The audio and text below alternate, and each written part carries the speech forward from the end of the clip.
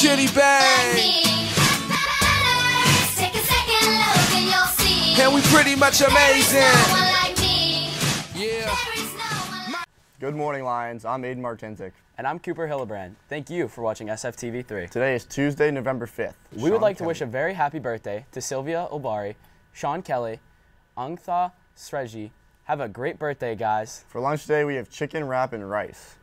In today's weather, we have a cloudy day with a high of 78 and a low of 54. In sports today, we have girls soccer state game at home versus Du Bois. Show out to support your Lions. The deadline to sign up to be in the ensemble of our spring musical, Mamma Mia, is quickly approaching. If you would like to be in the ensemble of the cast or to be a dancer, please sign up by Thursday, November 7th. You can use the QR codes on the posters around the school or see Miss Ellick in FA233 or Miss Carranza in FA223.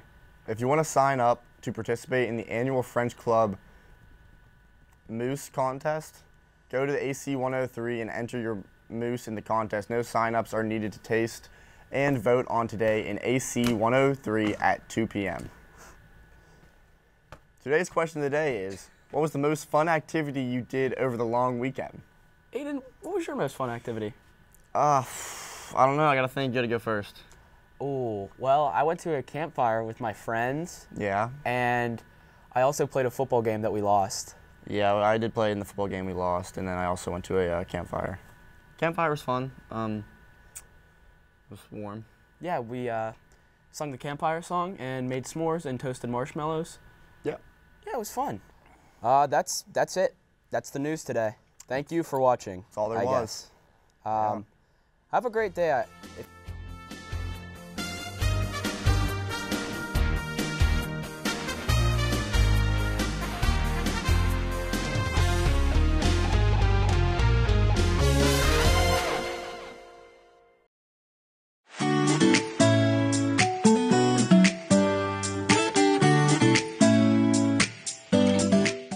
Today I'm here with.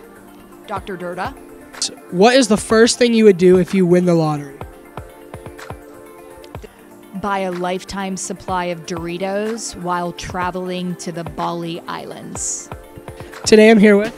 Mr. Salopek. What would you do if, when you if you win the lottery?